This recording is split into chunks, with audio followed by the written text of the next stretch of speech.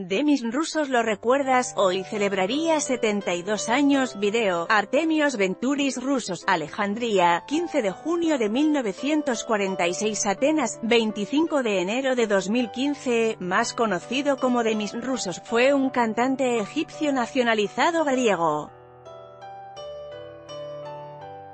Demis Rusos, nació en la legendaria Alejandría, 12 años después y con el nombre de Artemios Venturis Rusos, en una familia griega que volvió a casa cuando la revolución de Nasser.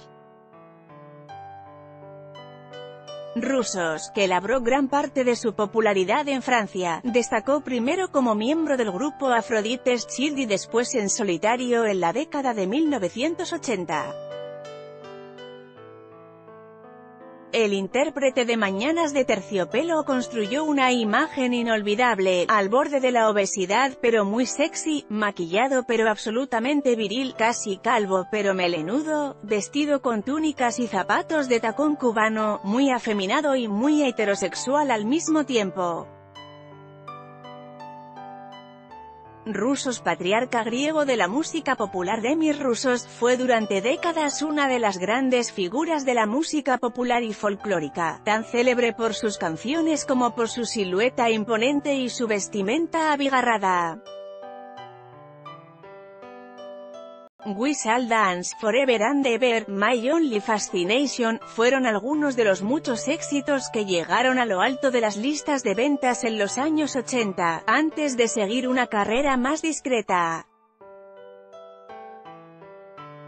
Nacido de padres griegos el 15 de junio de 1946 en Alejandría, Egipto, Rusos fue más allá del género de las variedades y se inscribió en la tradición de la world music, músicas del mundo, cantando indistintamente en griego, inglés, español o francés. En 1968 se dio a conocer con el grupo Aphrodite's Childs y con el tema Rain and Tears, un título nacido de su encuentro con el compositor Vangelis Papathanasiou, que posteriormente se convertiría en uno de los grandes nombres de la música por sus bandas sonoras. Tres años después de ese primer éxito, Rusos, cuyo nombre real era Artemios Venturis, hizo su debut en solitario con el tema We Shall Dance que lo propulsó a la cabeza de las listas de éxitos en varios países. Su voz, rápidamente reconocible se conjugaba con su físico de coloso barbudo, sus ropas estrafalarias y su aire de patriarca mediterráneo.